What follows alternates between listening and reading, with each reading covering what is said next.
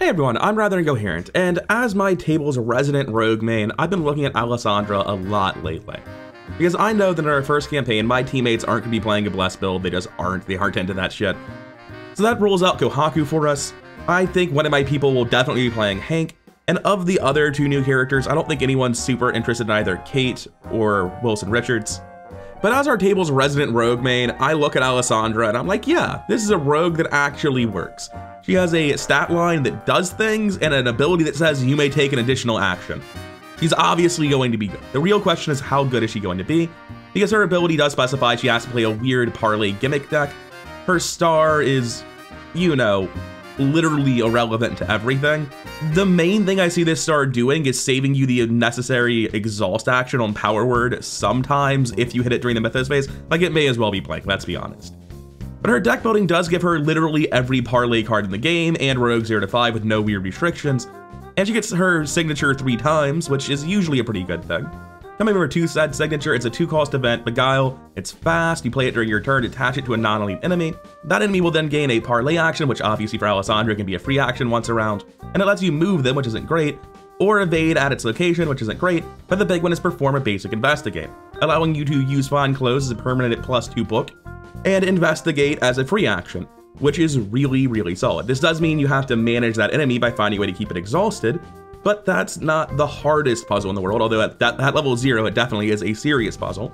And of course, if you fail, you lose the Beguile, so it's not just permanent, but you should be pretty good at passing this check. You will still auto-fail sometimes with Curse Cascade, but this is a pretty solid way of turning your ability to parley into valuable forward progression in the form of clues. As for Zamacona, it's a 3-3-3 enemy with elusive, and again, I just haven't fully grokked how elusive is going to play, I'm not going to worry about it too much. Spawn nearest empty location of Able. Alessandra cannot parley with this enemy, and force the first time you parley, place one doom on this enemy. Basically, either you tell your fighter, hey, go kill that guy, or you backstab them. That's how I see this. It's either going to be attacks on the fighter, or you're going to run backstab for this guy. And the unfortunate thing here is as far as killing this guy goes, backstab's kind of the only super efficient way to do it. Like the main thing is this last bit of line, it's a three health enemy with elusive that places a doom when parleys happen. That's a huge problem. Like it does have to get dealt with immediately, and it's probably gonna seriously muck around your fighter because even as a flex, I don't see Alessandra dealing with this super efficiently unless she gets the backstab. And if she does happen to draw a backstab before this and land the backstab, it's not a problem, but it will cost you resources, a card, a deck slot. And what's worse is it won't always work. Sometimes you'll draw auto fail. Sometimes you'll just draw a Curse Cascade, because your foot's not that good. Like, baseline backstab is 4 to 3, you need help to make that work. So this is a fairly threatening weakness, but I think odds are it just becomes a problem for your fighter, and your fighter's like, man, I wish you were playing someone else. But as far as you're concerned, as Alessandra, this is not the worst thing in the world. Before we start talking about Alessandra and what kind of deck I think you should build for, I just want to look at all the cards available to Alessandra, and this is all the parley shit in the game, at least as far as ArkhamDB is concerned, assuming I haven't missed anything. Now let's get started by knocking out some bad cards that really don't deserve a spot here. First of all, Dirty Fighting's an incredible card, but for Alessandra, not so much. I did not remember it gave plus two to parley on exhausted enemies, but you still need to exhaust them, and you can't reaction parley, only reaction fight. So I have a hard time seeing this making the cut, unless there's a really jank fighter flex Alessandra you're actually fighting with Fist, but I just do not see that happening. Next up, we have cards like False Surrender, where you're using a parley to try to play a weapon cheaper, and again, I don't see Fist Alessandra working with a base 2 Fist. And in that exact same vein, we have Hold Up. I just don't see any parleys that test Fist actually working on Alessandra, especially when it's just for like playing an asset or dealing damage traditionally. I don't think that's a thing Alessandra's looking for. And while Interrogate absolutely does stuff that Alessandra is looking for, it gets two clues, the issue is that it's going to be a minimum of a four fist test, which fine Clothes will bring down to two, but that's still a two to two test on a one fist enemy, which most enemies will be harder. Like if you're using this and well dressed to get through a test, it's not very good. I don't see that making the cut.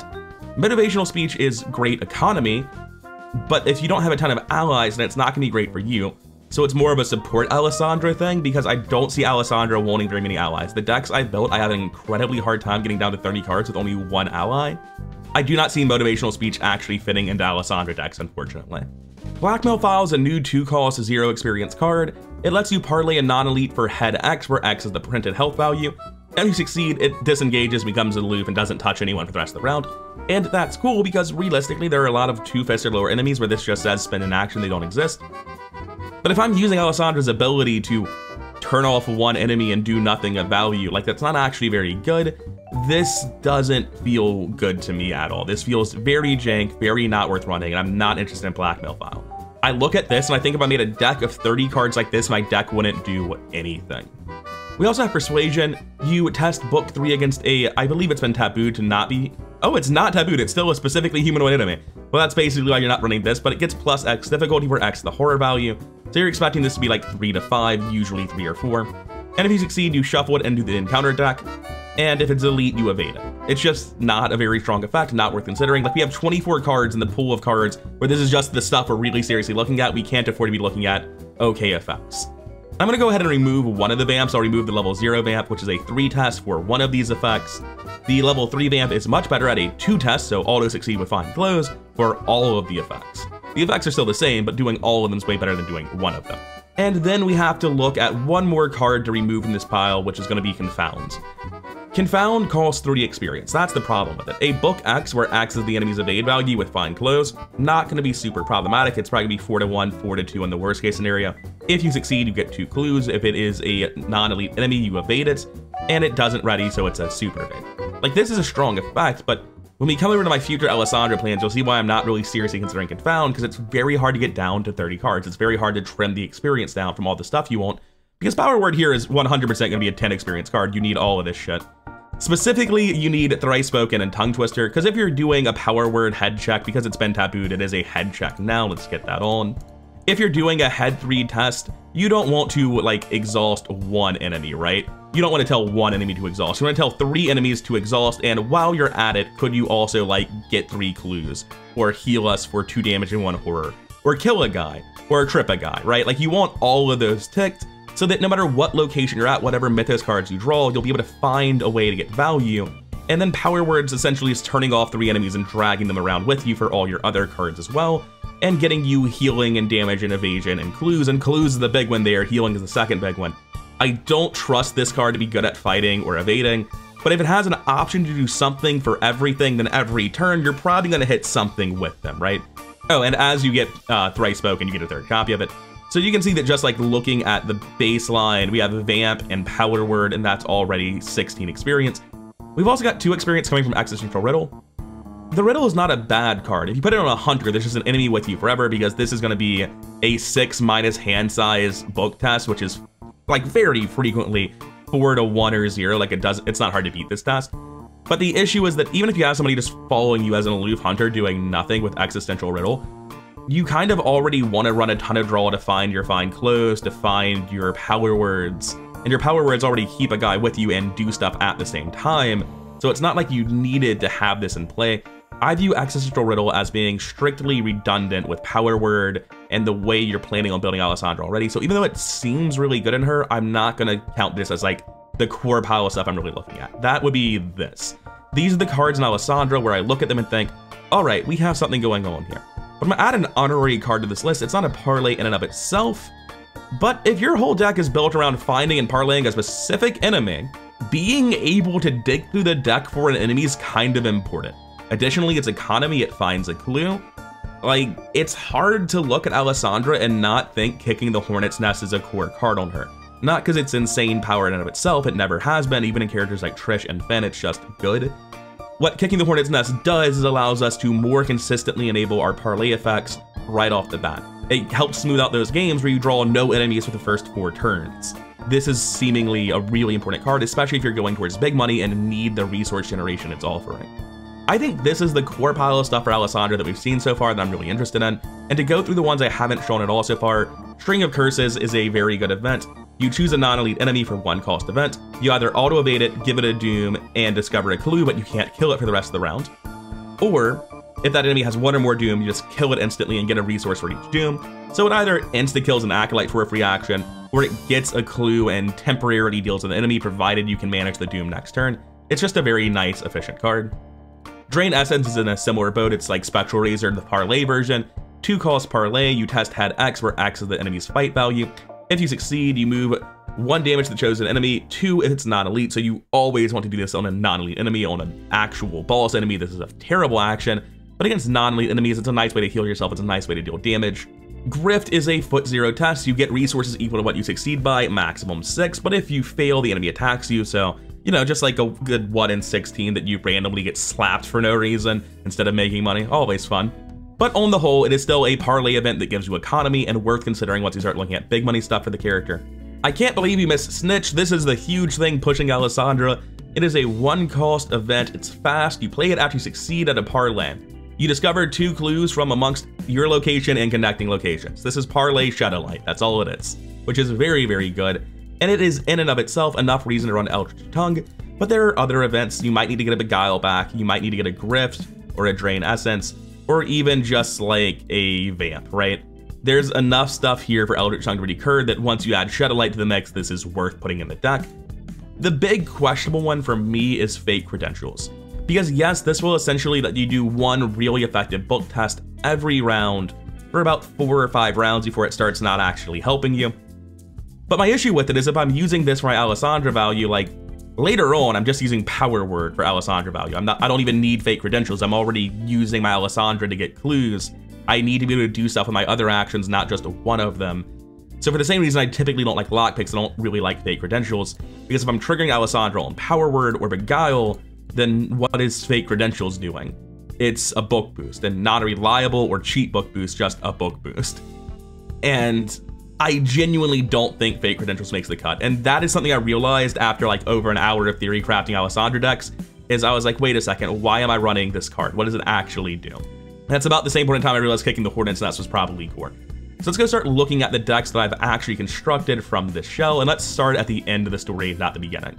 This is the character I'm looking at right now where I think she probably goes big money, and it's technically a flex deck because once you make a deck with Power Word designed around drawing Power Word, you know, you probably just manage three enemies permanently, you're helping with fighting in a meaningful way, and you have Vamp, which is going to be deal 2 damage and evade the boss.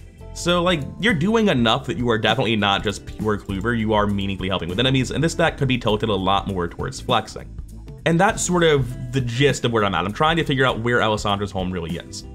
And the reason that I think she goes big money is Geass is plus one to head, Black Fan is plus one to head. That gets us to base five head. You'll notice Dario's here. I really care about the he that head number. And the reason is because Power Word has been tabooed to be a three head test because of this test, even with fine clothes up, it's three to one as a baseline, right? You're not actually beating a minus three. Why is that so important? There are lots of scenarios where Squid is like a minus three or minus four. If you fail, place a Doom. You need to do this every turn on your power word. So I'm of the opinion that you really, really need to have a baseline four or five head for this character to work well with power word. And as I was looking at all the ways to do that, the black fan is just if I need head, there's no other card offering as much as this alongside the head pump. Not with this card pool, not with Rogue 0 to 5.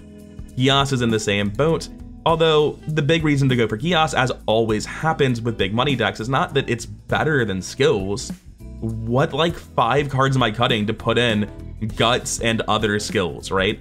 Like Geass isn't here because it's better than the alternatives, it costs less cards than the alternatives. And looking at this, I'm not sure where the economy balance is at because like Beguile and Power Word Shield cost a lot, but I'm running Kicking the Hornet's Nest, Hot Streak, Grift, Faustian Bargain, Easy Mark. It's probably too much. But if it is Faustian Bargain my teammates now, like it's not a terrible thing. So the real question I'm at right with this deck is, if I just build a deck that plays Power Word, Snitch, and has five actions with six book, seven books of Dario, is that good enough? And yeah, probably. I look at this and I don't think it's the like coolest, hottest build of Alessandra, but I think big money gives her the thing she wants, which is reliably triggering the tabooed power word. Coming over to the version I had of this where I realized, oh shit, yeah, power word is a test. What is that again? Oh no, it's a three head test. There's so much text on this card. It's absolutely comical. anyway, when I was looking at this deck, I realized like, oh no, my plan is to do a three to one test every turn. I'm gonna lose so many actions to pulling bad tokens. I'm going to have situations where I can't pull the bag at all. And like, I don't look at a deck and see these skills and think it's good generally. I know my favorite deck in the game runs all of these as well, but Flex Mark here against the exception, not the rule. So like you can absolutely run stuff like lockpicks with Lucky Cigarette Case 3 to try to more effectively dig through your deck, and you have great lockpicks numbers. With the Lola Santiago, you can turn all that same economy into clue finding. There's cool hot shit you can do outside of going big money. But it makes this card a lot worse, and I feel like this card is the core of an Alessandra deck. Which brings me to level 0 Alessandra, where I'm really worried about how the character fits into a team.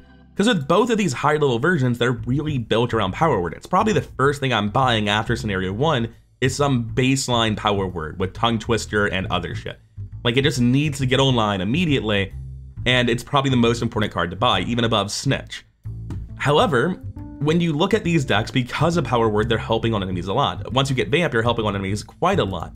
But back at level zero, this deck does not help with enemies. It runs breaking and entering, because I'm going to need to kick the Hornet's Nest to get an enemy on turn one or two, then I need to trip them so they don't beat me up so I can use Beguile for two turns instead of one.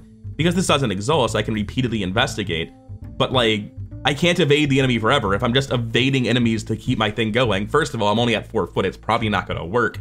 But second of all, it just, it's not efficient. If I evade every turn, then this free action was worthless. I could have just had to fight or kill the guy, right?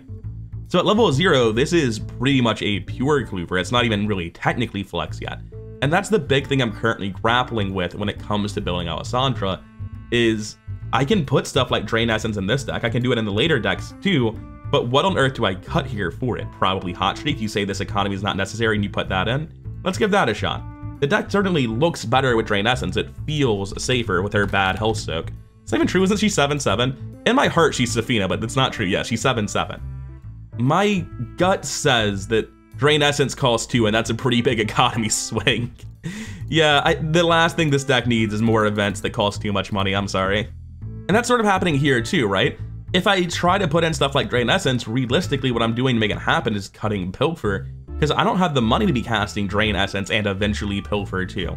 That doesn't seem feasible to me. And that's sort of where I am with Alessandra right now. There are two problems I'm trying to solve with the character. One is how do I contribute at level zero in the flex capacity the way the higher level decks do.